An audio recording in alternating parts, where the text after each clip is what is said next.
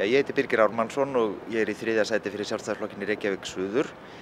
Eh, Þessa dagana er allt á fullu hjá manni, við erum á kostningaskrifstofum og förum á vinnustæðafundi og fáum bara fín viðbröð. Við metum það þannig að hlutinni séu nú svona allir upp á við hjá flokknum og, og málstæður okkar er að komast í gegn og, eh, og eh, við finnum það að bæði það sem við erum að segja og gera hérna í þinginu það næri gegn og líka þær áherslur sem við erum að setja fram sko þegar við hittum fólk á fundum og,